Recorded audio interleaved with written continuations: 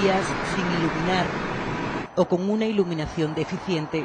El 59% de las luminarias en las carreteras españolas presenta algún tipo de problemas, en su mayor parte debido a un nivel de alumbrado inferior al requerido por las normas de seguridad.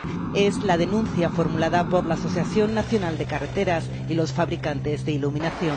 Es muy importante, es decir, hay que tener en cuenta que la probabilidad de resultar herido o incluso muerto en un accidente de tráfico por la noche en una vía no iluminada es un, cerca de un 300% superior a la de día. Según el estudio de los 83.000 accidentes con víctimas de 2010, el 30% fue durante la noche y de ellos el 20% en vías que no tenían iluminación por traducirlo en un dato un poco más tangible, uno de cada seis fallecidos en accidente de tráfico se nos está produciendo por la noche en, carreteras que no están iluminadas.